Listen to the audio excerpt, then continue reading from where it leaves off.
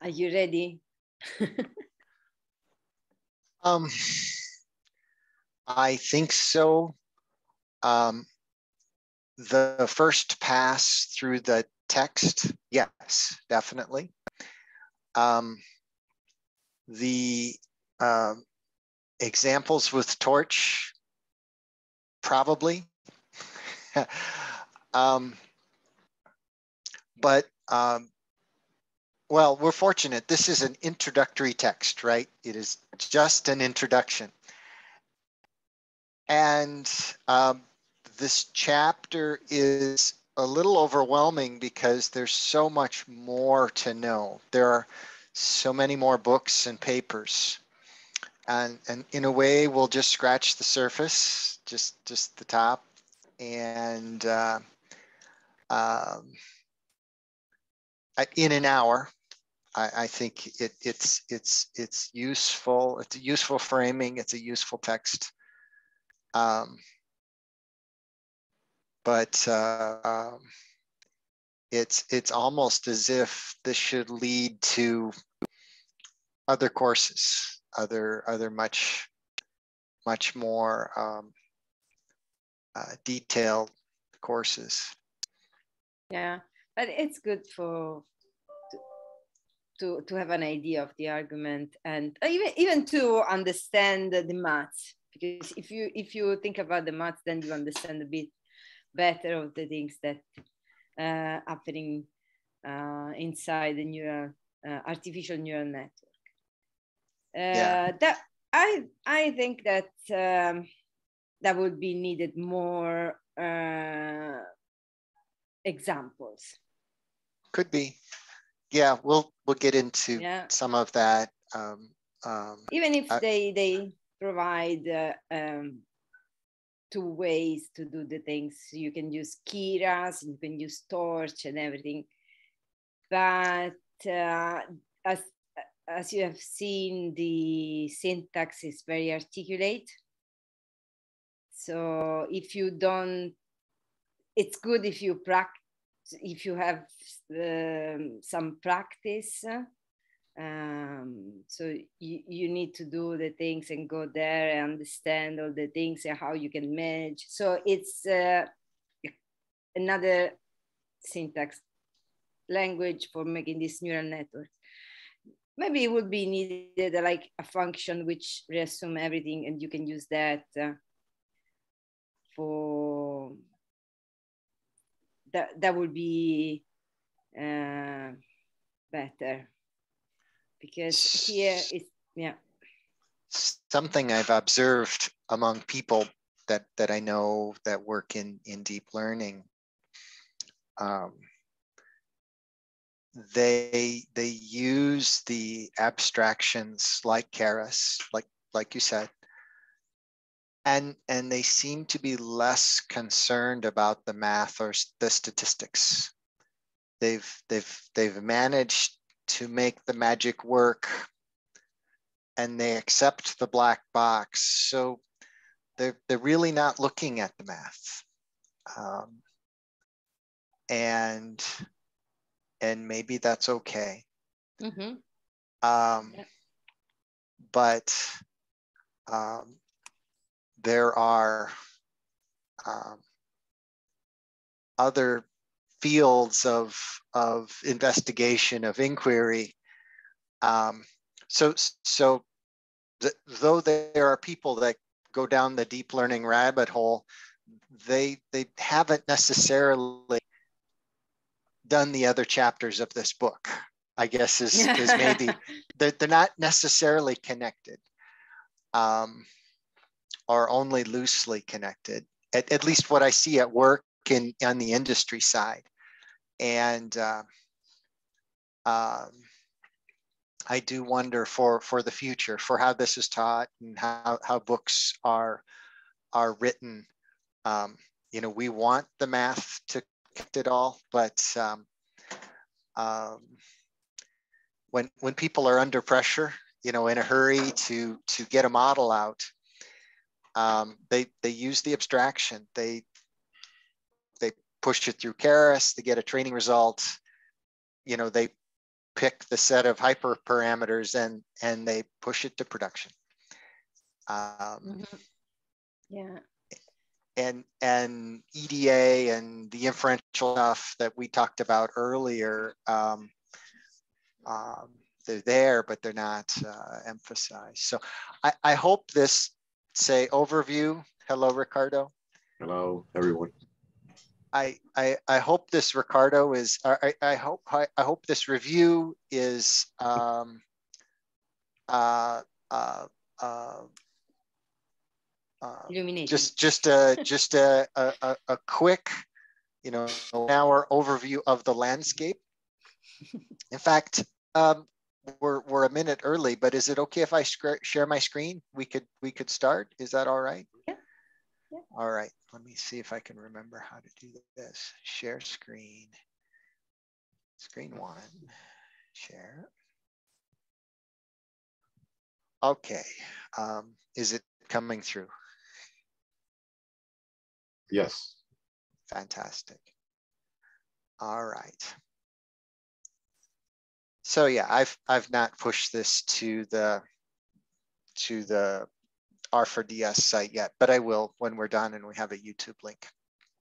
So in in this hour, um, we'll cover the introductory material, the the the really high level stuff on um, the the sections of chapter 10 uh, with a, a, single layer uh, well, it's, it's I guess a neural network, but it's not deep because it's just a single layer.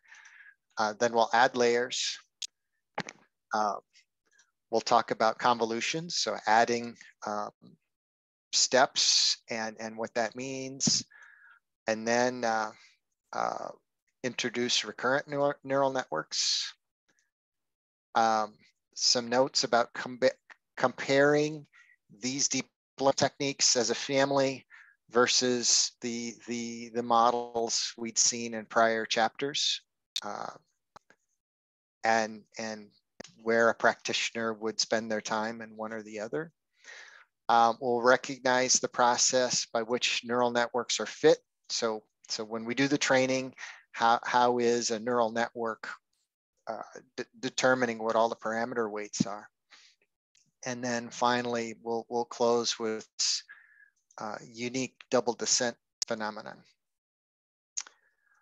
Um, to keep this within an hour, um, th there's a lot of other really, really great materials to, to uh, for example, to, to look at convolutional neural nets. There's, there's some fantastic resources, but I, I didn't list those. I, I only, you know, uh, linked here to um, the author slides for chapter 10.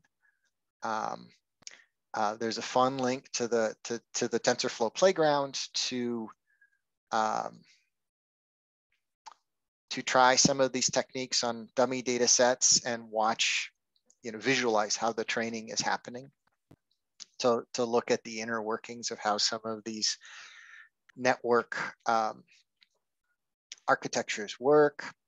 And then uh, if we have some time at the end of the, the text, um, we, we could start looking at um, the examples. Um, I, I have Torch set up, works great. Um, anyway, I, I, I, guess if, if we in this hour can get, say, the book chapters, I, I, I think that's a good goal. I, I guess, what are your thoughts? Is that all right? Uh, yep. Go for it. All right. Yeah. Fantastic. Okay, so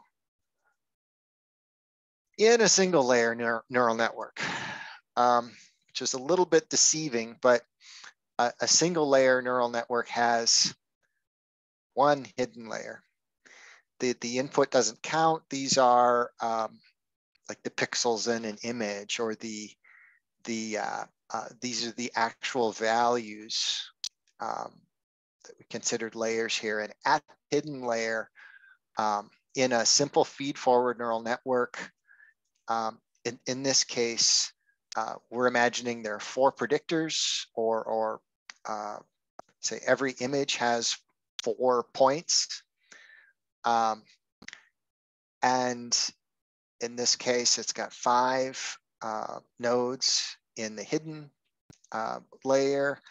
Every, every node in the hidden layer has an activation function, which we'll talk about in a minute. And then, and then the output layer, again, is not part of the network per se. This is, this is where the answer or the, the prediction shows up. So um, single layer means one, one hidden layer in the sandwich.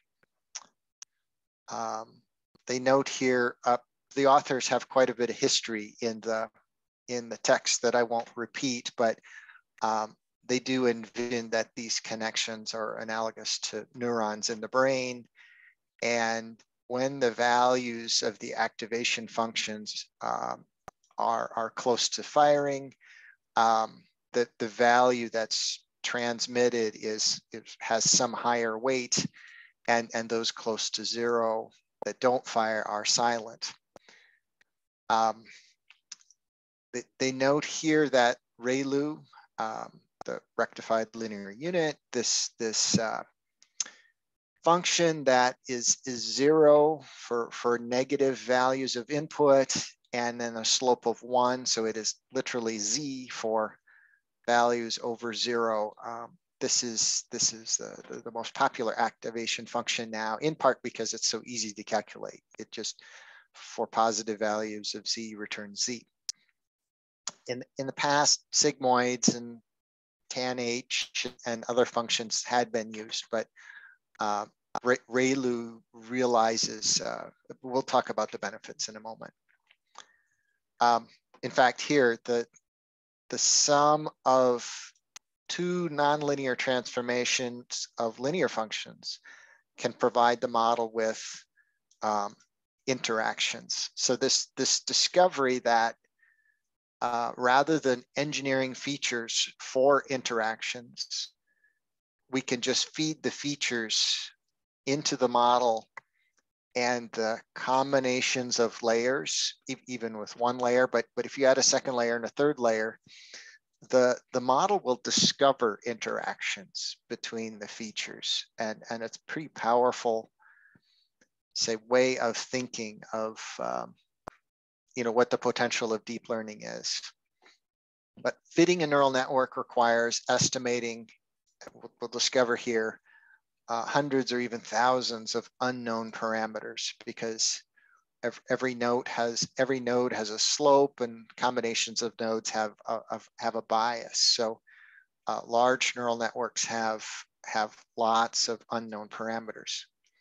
So for a, for a quantitative node, no, uh, final node, um, if, if what we're looking for in the end is a regression, um, loss functions like squared error are, are um, used so that as a network trains, the, the, the squared error is, is uh, say minimized. The search is for parameters that yield a, a the smallest possible squared error loss. Um, for a qualitative response, uh, we'll, we'll, talk about cross entropy, a, a way of minimizing um, the, the number of wrong answers in uh, either, either binomial or uh, you know, a multi-class output. Okay, so with that introduction, um, we'll, we'll add some complexity. We'll look at multi-layer neural, neural networks. And in this case, uh, the example they highlight here, and I think the one a lot of us encounter um, in books, coursework, just generally in places is MNIST, this uh, set of grayscale images. They're 28 by 28 pixels with uh, 60,000 training examples and 10,000 test samples. They're all labeled zero through nine. So, um, but given that they're handwriting, they, they vary a lot. And uh, the pixels, every image has 784 pixels. And each of those 784 pixels has a grayscale value between zero and 255. Um, so um, for for training on MNIST, it's it's possible to look at GLM or XGBoost, but um, there obviously uh, there's there's a there's a lot going on here.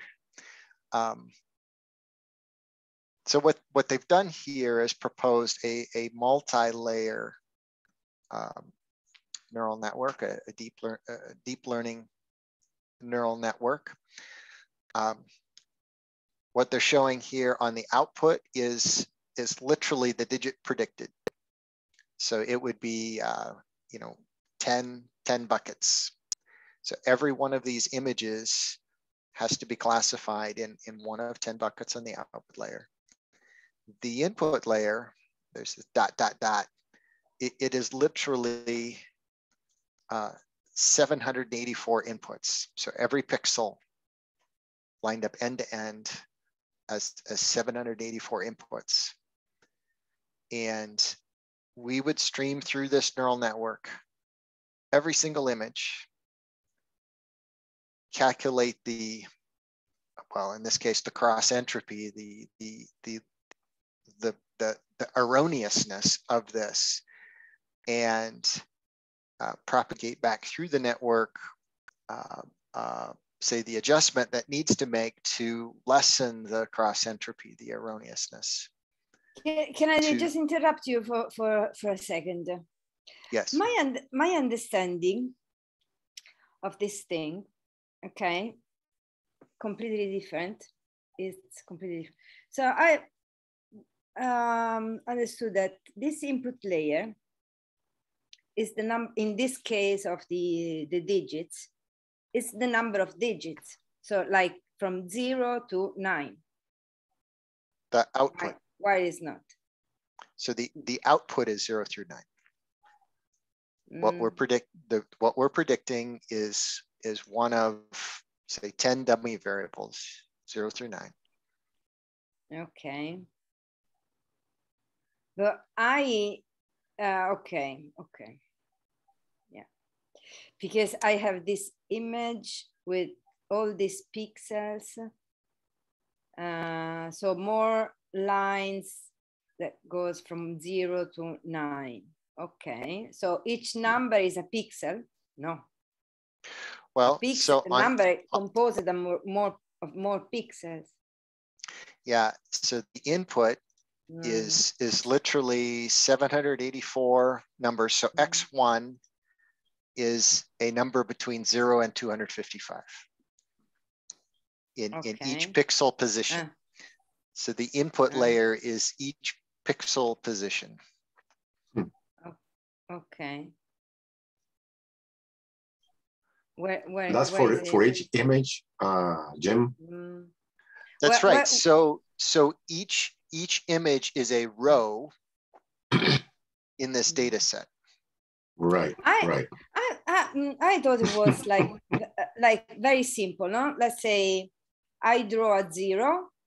Let, let, let's say this. I or I have an image with a zero.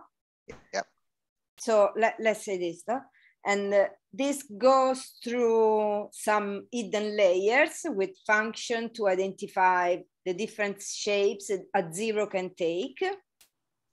Okay, and then the output says it is zero.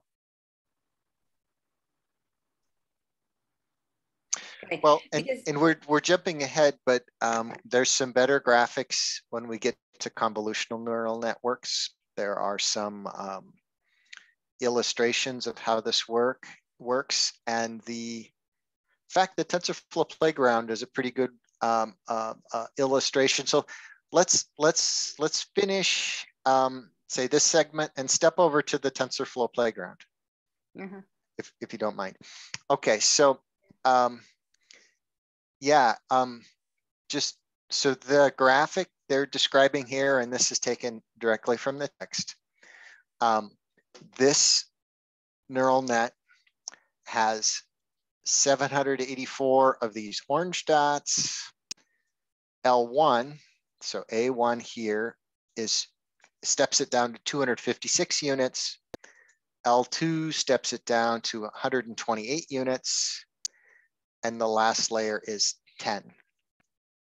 So, 784, 256, 128, 10. And, and those are deliberate choices before, before the, before the um, model is trained, the, the, uh, the machine learning practitioner uh, needs to choose the, the, the structure of the layers and the nature of the connections.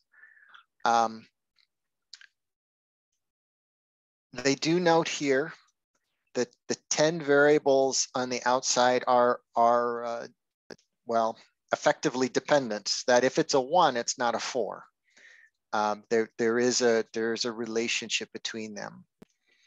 And they also note here, um, they bring in a term they call softmax for multi-class classification because um, uh, what, what we're going to yield on the back end here is a set of them probabilities. They're all numbers.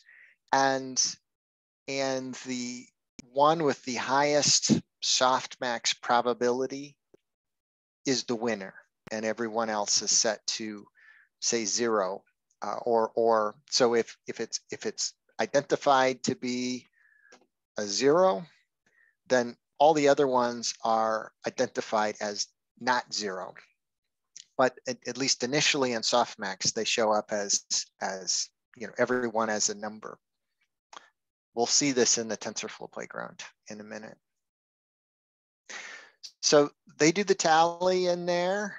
Uh, I didn't repeat it, but every every one of the weights uh, for these arrows and, and then the bias with the layers yields 235,146 parameters. Um, and in the text, they cover how that's done when, when you start with 784. So it's, essentially every arrow connection for 784 into 256 into 128 into 10. Um, they introduce a question or a, a comment here to train this, which we'll talk about in a, in a later section. Um, since the response is a category, it's qualitative, um, we're going to actually use a negative multinomial log likelihood, but but everybody in the in in in the world calls that a cross entropy. So um, that log likelihood cross entropy value, uh, like we said before, is a is a um, uh, it's not like one hot encoding where there's one class that's zero. It, it, it literally will distribute the probabilities amongst all the digits and um, uh, and then and then compare which which one's got the highest number. They make a note here. Um, this this guy, even with two hidden layers, um, is guaranteed to overfit. It's, it's going to find interactions in the training data that don't exist in test.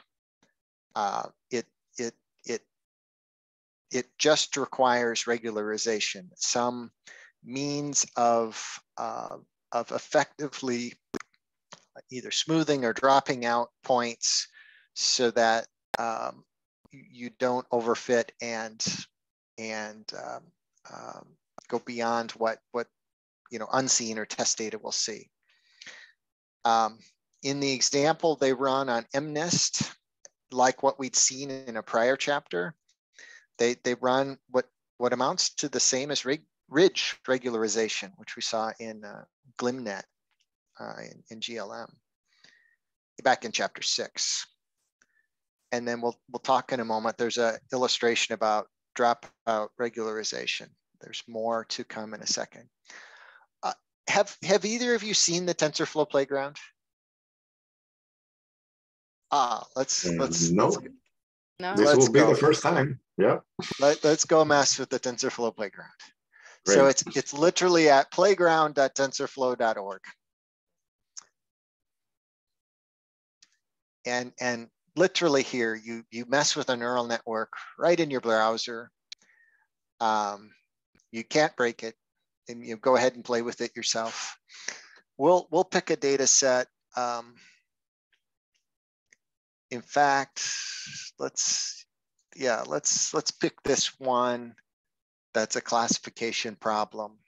We'll use uh, ReLU. Let's uh, we'll go with one hidden layer. Um, so, so we're going to feed in a pattern that looks like that um, and, and try to build a classifier. Uh, we'll, we'll feed in a learning rate, ReLU activation. We'll say no regularization at first, uh, so it doesn't need a rate, and we'll hit play. And almost immediately, you see the loss function and the epochs over time as it's training, it's going through, you know, hundreds of epochs. I'll hit pause, but you can see in the image how the model has arrived at a fit for that data set, you know, given that learning set, that activation function, that regularization, and, and that number of hidden layers. Um, they have this interesting feature here. You can you can introduce noise. Um, try it again. And again, in, in, in a 100 or so epochs, this, this quickly arrives at, say, the, the, the best possible um, model for classifying data that, mm-hmm. that looks like that. Uh, Jim, um, uh, could, could you post the, the link in the chat so it stays in the log. Yes. Yeah. Good point. Yeah. Yeah. We'll see. Yeah. yeah. I'll be playing with this this weekend. You know. uh, how do I? I, I, I always am attracted to this simulation in uh, graphics. Okay, so that you know because if you're visual, you know it tells you a lot in terms of the the mechanism and the and what, what, what it's doing and the and the and the different results depending on uh, different parameters, right? yes. So let's let's take a complicated data set. Um, so here's here's one that um, maybe a support vector machine would handle better, but but let's let's see with one hidden layer for classification um, in fact, let's let's go ahead and add some L1 or ridge regression and uh, a little bit of a regularization rate. Let's let's see how many epochs it takes to train that guy. Get it started. And, and you see over time what the loss function is and, and how it's arriving at a, a model to, to distinguish the, the blue dots from the orange dots. Um, so for, for different data sets, even the spiral, which is just a little bit crazy, um, you can see this single layer neural network struggles to arrive at uh, a low training loss. We're, we're, we've still got a relatively high number and it's, it's flatlined. So for, for something like this spiral, may need a second layer and we can run that. It's still struggling. So maybe we need to uh, bring in other properties. One second, guys. Let's see if I can.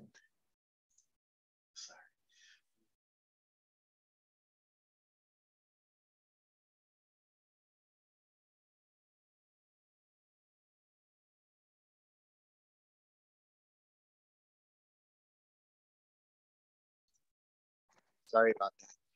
All right. So in any case, I I, I would would leave you all to uh, uh, you know play or tinker with the TensorFlow playground as as as you like.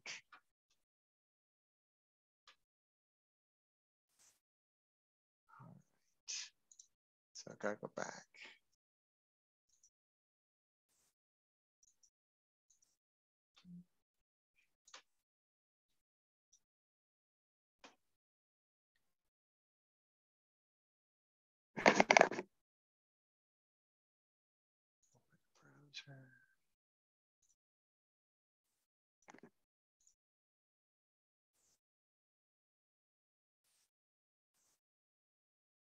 Okay.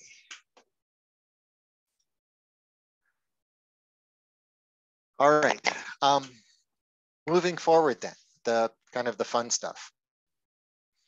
So on top of the, uh, uh, uh, say the, the additional layers and the activation functions and the size of the layers, um, and what we've seen so far has everything fully connected. So every node is connected to every node. Um, the, there are other techniques to add that uh, help a great deal to um, classify images and video. And uh, one of the um, assertions made in the text is that um, these math techniques do mimic some degree how humans will classify what we see um, by recognizing uh, sub patterns that exist within the image.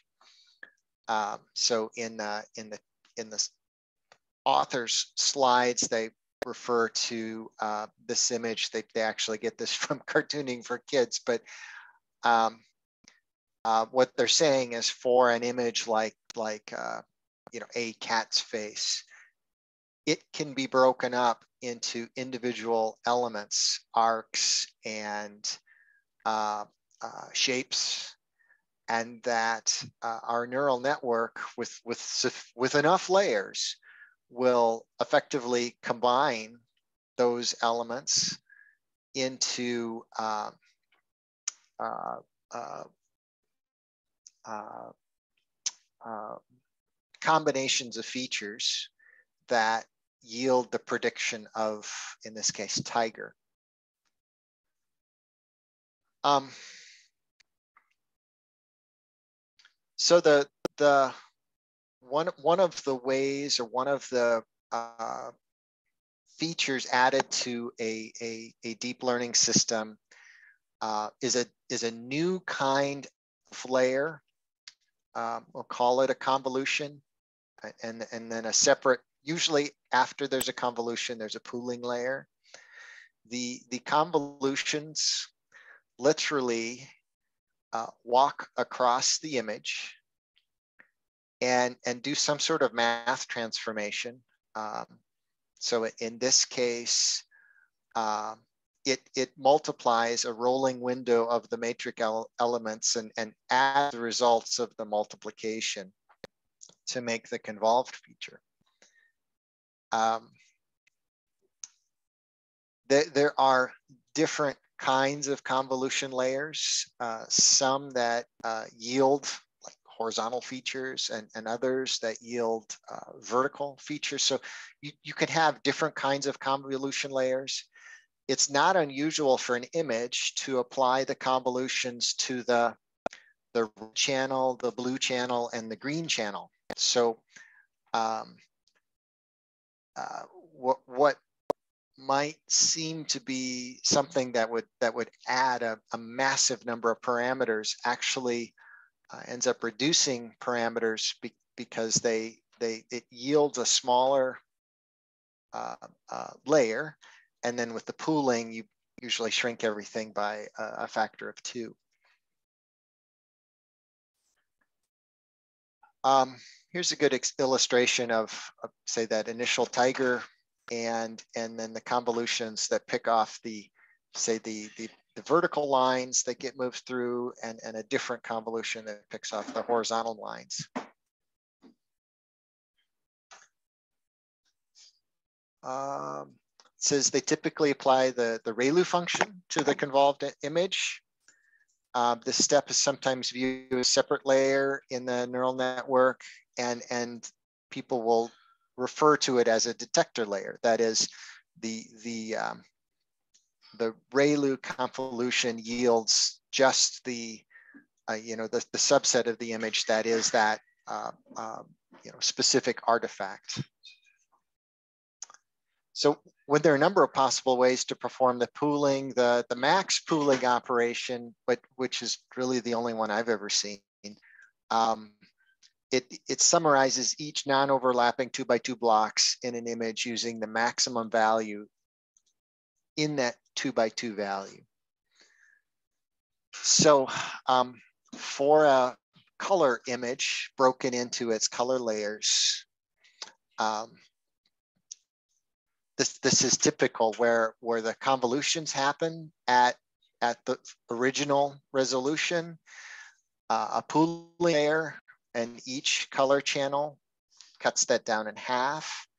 And then there's another convolution layer, another pooling layer, again for every channel, another convolution layer, another pooling layer, and then what amounts to a, a, a flattening where they're all stacked into um, uh, uh, one last, uh, say, square or maximum value.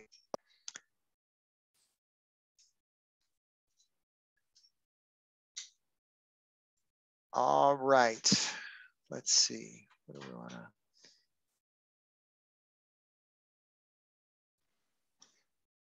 They mentioned flattening here and the softmax for in, this data set. What they're talking about is a hundred labeled classes. So every every image in in this chapter's data set, I didn't mention the data set, but um, they've got a, a, subset of like the ImageNet data set where the stack of images are, are, are labeled into 100 different classes. Um, they mention here also that as a preprocessor, as, as every image comes in, it's normal also to uh, run an augmentation scheme where the image is twisted and flipped and reversed. Um, in, in a random way uh, so, so that in the training data, every one image is, is actually many multiples of image reoriented or, or flipped or distorted in just a little bit in a, in a way. So uh, the, the CNN works in big batches with, with images and altered versions of that image on the fly. So there's there's no need to store these. They they just are introduced to the neural net um, uh, through the preprocessor this way. And then they close the chapter by talking about a pre-trained CNN, a convolutional neural net classifier. So uh, using ResNet, um, there, there, there are uh, available pre-trained convolutional neural nets that have uh, all of the weights down to the to the end for for thousands of subjects, and and ResNet is one. Um, there are others, um, but the the uh, it's it's possible to take a pre-trained classifier CNN and append um, just the last couple layers, you know, and, and lock in the, the, the pre-trained layers and, and just retrain on the end for the images that you care about. So for models that, that uh, fit with like ImageNet, the output of those filters can serve as features for, um, say, other natural image classifications problems. And, and that, that saves uh, uh, days and days of training where, where you can do it on a, on a relatively modest computer with new, just a small amount of new data. Okay, um, questions on the CNN introduction? We'll, we'll move next RNNs, which is a whole different animal than a tiger. Okay. Um, oh, just briefly, they, they, they do talk about document classification, which, which um, getting beyond the pictures, it's, it's, uh, it's a bit of a tangent that Um, you can use a neural net to classify documents like, uh, you know, in this illustration here, the type of ticket or the type of uh, maybe issue in a chat bot. You know, is the issue a refund or a, a complaint issue or a login issue? And, and, and they mention here that in language models, um, outside of neural nets, bag of words models, where every word is weighted um, equally independent of its location in the document. Um, that's that's that's really common, and, and you're really stuck with a bag of words model with a with a really sparse matrix because uh, you're using a, a say dictionary. Um, uh, that's that's very common. In in a moment, we'll see a way to get past bag of words, but um, they, they, they mention here in document classification that um, just by looking at the words and in the document and, and making a matrix on your dictionary, um, um, you, you can try to classify documents, but there's, there's some things you can do to make a better classification. Um, they mentioned two things in this section. Um, one is to do an n-grams model. So you, you take the words in the document, you, you make the bag of words, but but then you then you do two grams or three grams and you associate the words with one another in there in that say position next to a, one or two adjacent words. So something like blissfully long would be seen as a positive phrase in a movie review where blissfully short maybe could be seen as a negative. Um, and then what we'll talk about in a minute is, is to treat the whole document as a sequence of words and, and to train on a sequence. Um, I, I, guess, did I lose you here? I, I tried to simplify it precisely, uh, Jim. Uh, my comment, but I was going to do it at the end, but maybe this is a good, uh, you know, a good timing, is that usually, uh, you know, uh, deep learning models do very well, for example, classifying images, and also, and also, uh, you know, doing uh, NLP, uh, natural language processing, okay? Because some of this, you know, bag of words, uh, you know, term, term uh, uh, frequency, uh, TI, TI, TDF. Uh, TF, IDF, yeah. Yeah, uh, you, you usually uh, they don't, they have trouble understanding the context, okay, of what that particular word is used.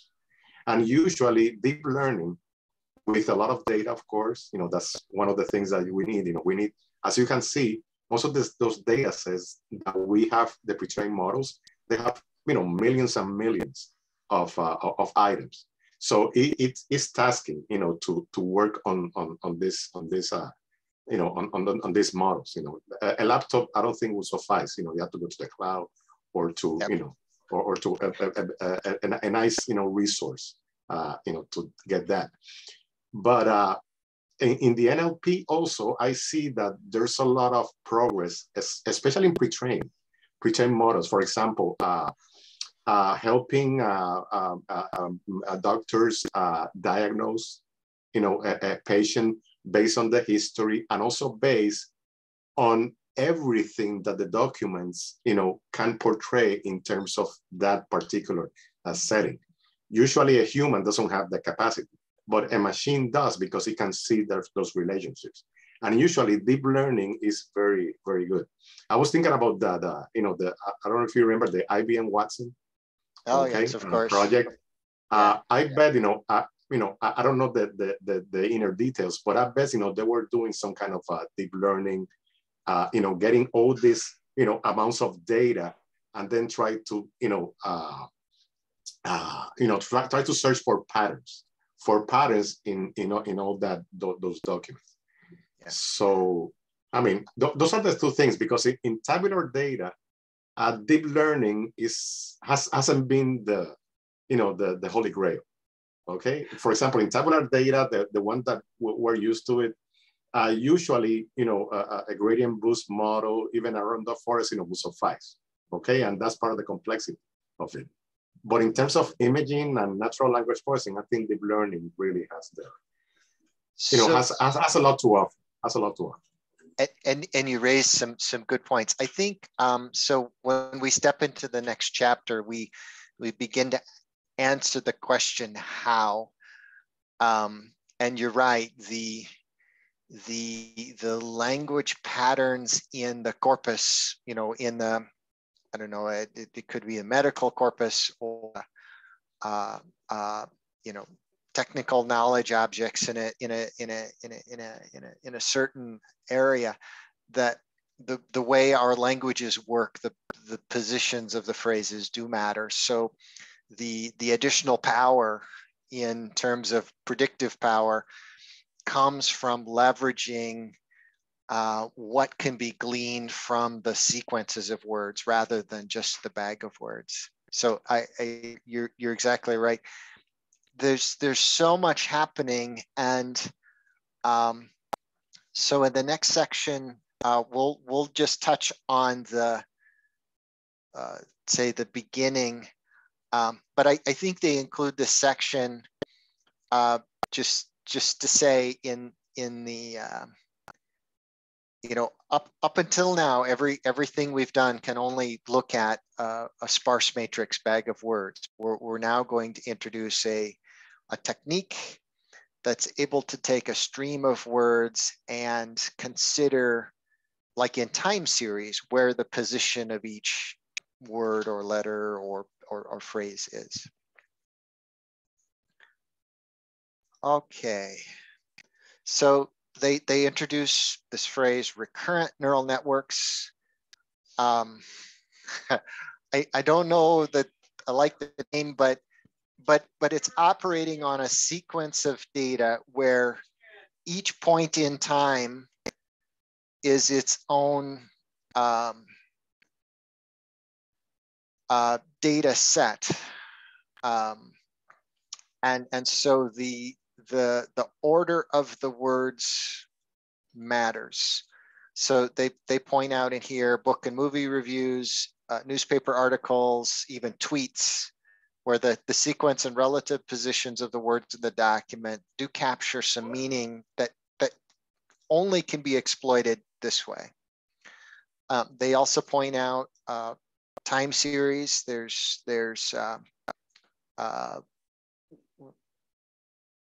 the, the, the, the way you do time series for temperature or rainfall, the, the, the most meaningful point is, is, is, is the, the one just a minute or hour ago or yesterday. And and time series earlier than that are, are, are weighted somewhat less. And the, the uh, recurrent neural network handles um, the time series very well. Um, financial, where you've got regressors like trading volumes and stock and bond prices. And, and there's an example we'll look at uh, eventually that deals with trading volumes. Um, you mentioned uh, speech chatbots, even music. There's there's good ways of predicting the type of music using RNNs, where the sequence of the notes matters, and it's just not a bag of notes. And then uh, handwriting. Um, so this uh, Jim, is, just a comment. Uh, yeah. It's interesting that uh, in, in, in, the, in the field of music, uh, there's some AIs, some, some you know, AIs algorithm that they can compose, you know, a piece of music in the style of a composer. Yeah. Okay? So for again, example, you know, they have they, they have done, yeah. you know, like for example, you know, how would you know just give it give it some random notes, right? Give it some random notes in like a seed, and then let's say, you know, how would Bach, you know, would compose uh, this, this, this, this music with this series of notes?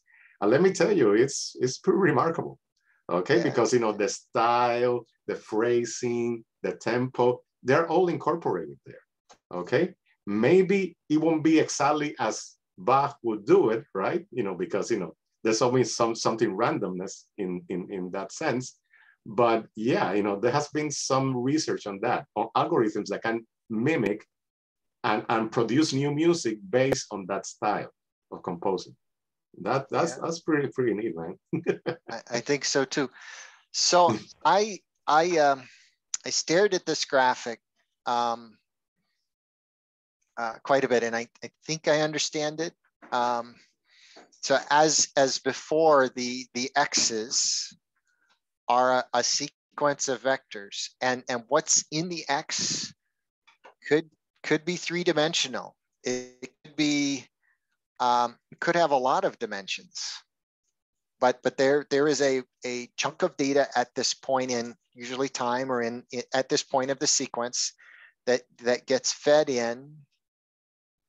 Um, there there is is one or more say say hidden layers with an activation uh, like like ReLU typically and um,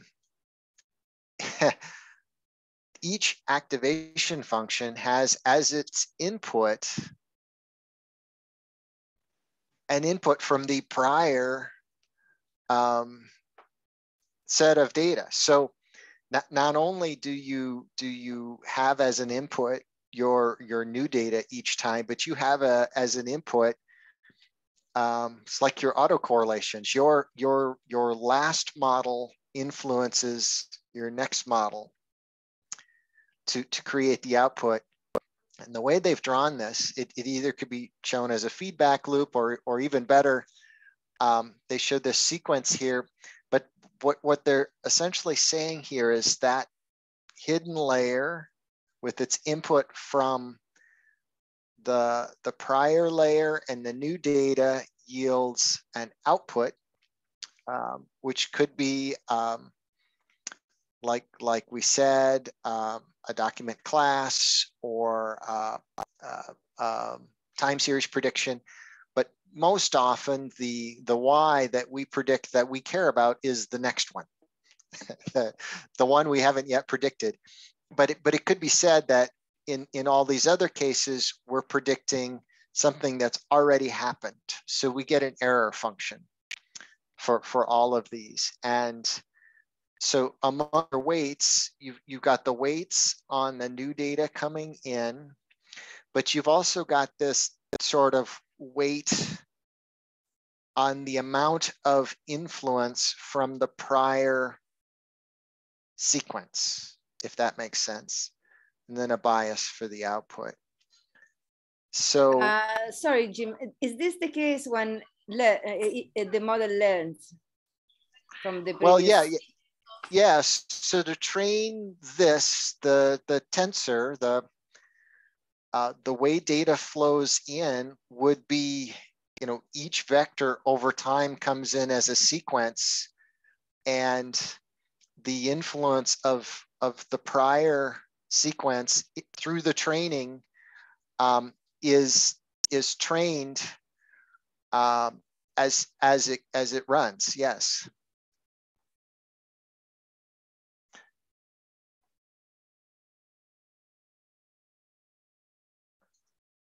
Okay, so they mention here sequential models back for document classification.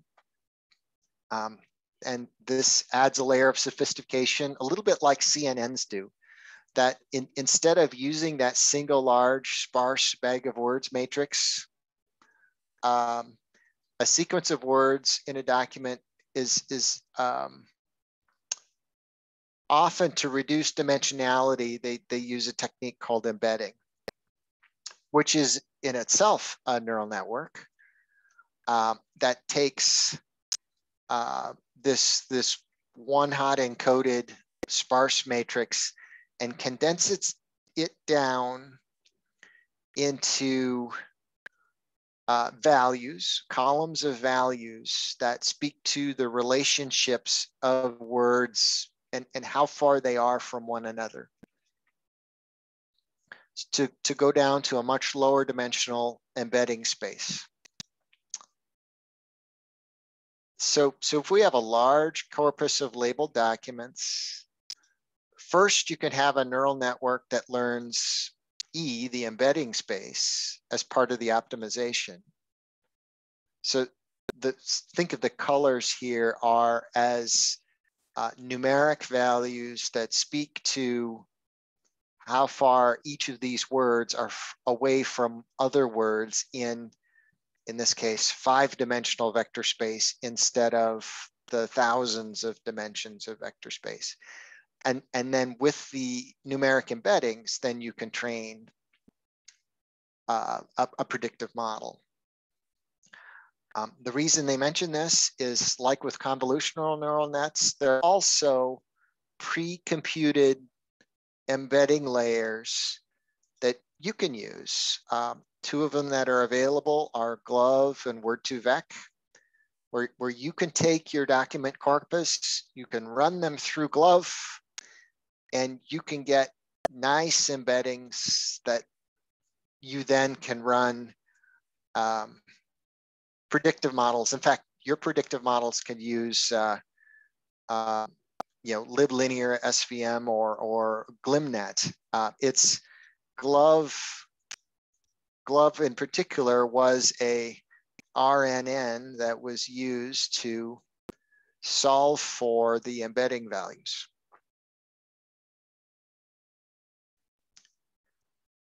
So um, with the embeddings, each document is, is represented as a sequence of vector M, so this, in this it's five, but in GloVe you can you can pick the number of vectors you want. Um, so then you limit each document to the last L words. So so each page um, in in in in an RNN, each each document has to be the same length to to stream through at the same time. And so there's a bunch of padding has to happen on anything that isn't the longest length document. In time series, it's not a big deal because everything is usually the same length in time, but in, in documents, there's, there's a bunch of zero padding that has to happen. Oh, here's a good picture. Um, so in, in document classification, then um, those document series of that length get processed process sequence, sequentially from left to right. Um, a parallel series of hidden activation vectors, the A that we saw up above is created for each and every document. A feeds the output layer to produce the evolving prediction O. So, so this is a, a, a typical RNN as it's deployed. Um, they mention here, and I've seen the time series, they're, they're uh, are, are canned LSTM. So LSTM is an RNN, but it addresses a, a, a, a problem. The long short-term memory, um, the, the issue is for deep series, if, if you've got hundreds or thousands of points, it, it turns out the U values way back in time wash out to very close to zero. They, they have almost no influence. And if you've got um, seasonal data or things that come up like on holidays, you it it it, it isn't the best possible model only to use you know a, a sequentially this way. So LSTMs have a an added feature where there are uh, longer and short-term, um, say, recurring loops. You end up with some of both. So it ends up being yet another hyperparameter. With two tracks of hidden layer activations. So when, when the first activation is computed, it gets input from hidden units, both um, you know, one back in time, but also much further back in time.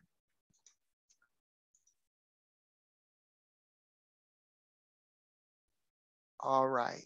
So, and then here's another example of time series forecasting where we're looking at stock trading volumes. This, this uh, top series the log of trading volumes of a given stock. And um, they, they note here in the graph this phenomenon of autocorrelation, which we cover in a time series book, but um, they, they are not, the, the, the, the time series itself is not independent. Um, that is the, the, the time series is somewhat dependent on its most recent value.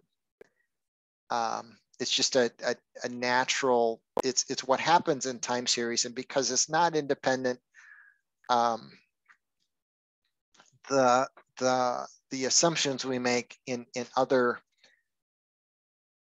uh, algorithms don't, don't hold up here very well. So um, RNNs handle this um, uh, very nicely. This, this feature where um, that U weighting is is available with with every step in time is a is is a is, is a very nice feature.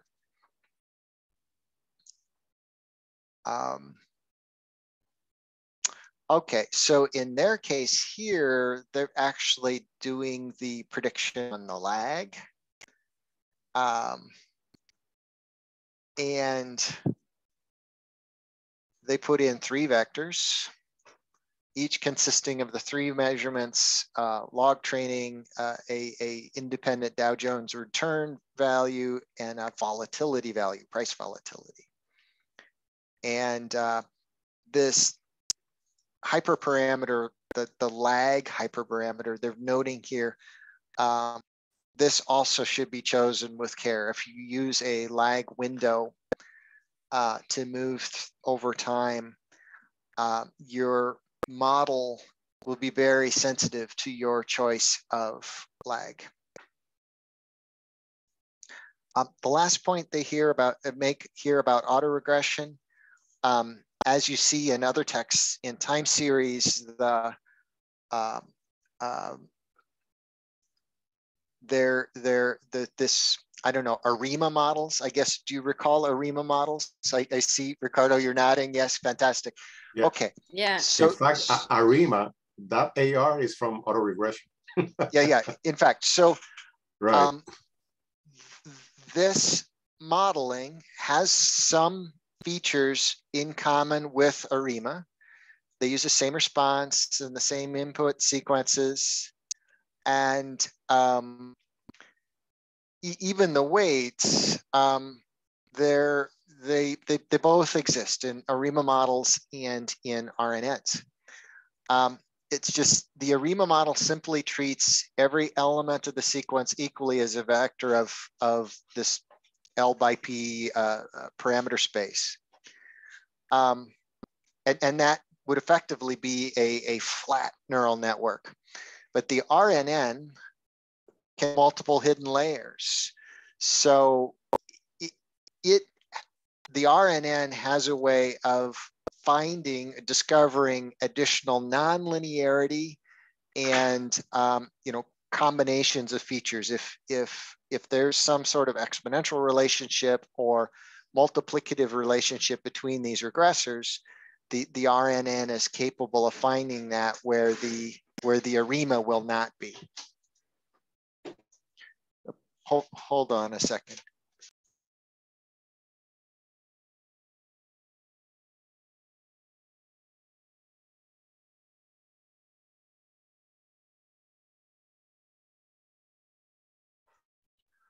All right, um, coming up last three minutes, just just a quick note on when to use deep learning. I think I think Ricardo, you you you you'd outline the high points here.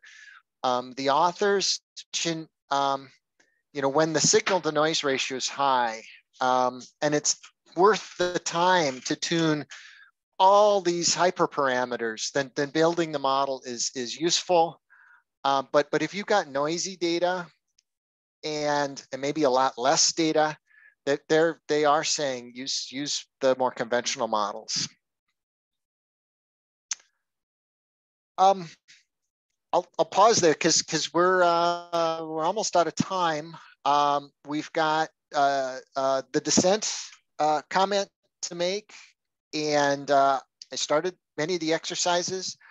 I I love to go through the um, the torch lab. Um, so can we do that next week? Yep. We're, Yeah. we're good with that? Okay. Yeah. All right. Um, I will, uh, we'll see you all next week then. Thank you. Okay. Yeah, Great- thank you. Great, Have- great, have a great great talk, day. Jim. Great talk, great Thank talk. Thank Bye-bye. you. Bye. Bye-bye.